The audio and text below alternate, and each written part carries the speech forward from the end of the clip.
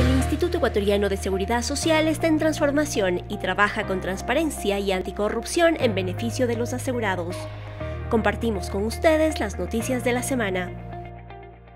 Francisco Cepeda, presidente del Consejo Directivo, designó los delegados a la Comisión Interinstitucional entre el IES y el Ministerio de Economía y Finanzas, que se encargará de auditar la información de las prestaciones entregadas por la institución con el objetivo de llegar a acuerdos para formalizar los pagos a través de un cronograma.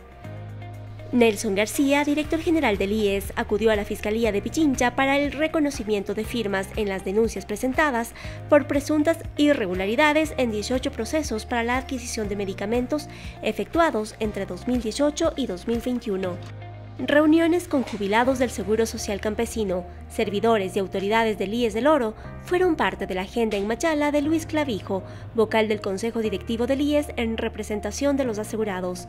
El objetivo de la visita fue conocer las necesidades de los diferentes sectores y revisar las líneas estratégicas de las autoridades en la provincia.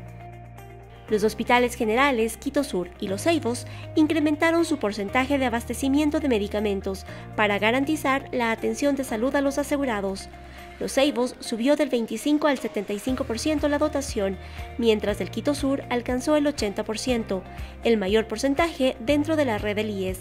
Ese nivel alcanzó con la llegada en febrero de más de 140 medicamentos.